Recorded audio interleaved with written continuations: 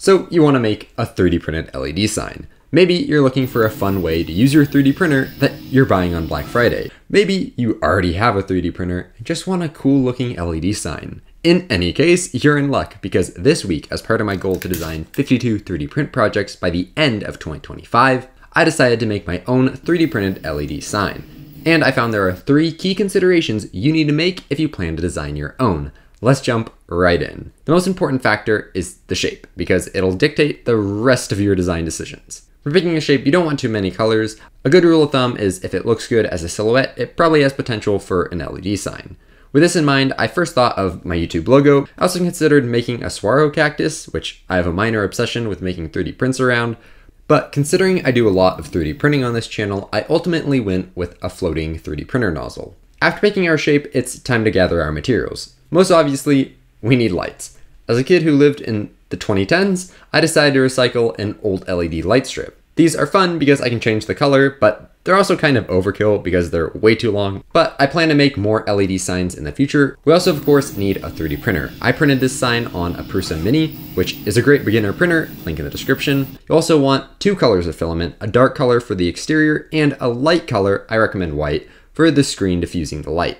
Grab some measurements of our LED light strip, and we now have everything we need to start designing our sign. For this portion of the project, you'll need a vector graphics editor, a 3D modeling software, and a slicer. I personally used Adobe Illustrator, Onshape, and Prusa Slicer. I'm using Illustrator to create my vector image of a nozzle. I exported this as a .wg file and imported it into Onshape. I use this shape to create a screen. To start, I make the screen the height of one layer, which in my case is 0.15 millimeters, but I make sure it is easy to change later because spoiler alert, I change it later. Next, the border is made and indents are added for my LED light strip to slot into. Now we can add this to our slicer, slice it, and send it to the printer. During assembly, I realized I made the slot I planned to feed my LED light strip through too small, but I wasn't going to reprint just for this, so I cut it open a little more. I fed the end of the LED light strip through the enlarged slot, and we got our first glimpse of what the sign would look like. Not too bad, but the light strip began popping up inside, creating these ugly shadows, so I found the right length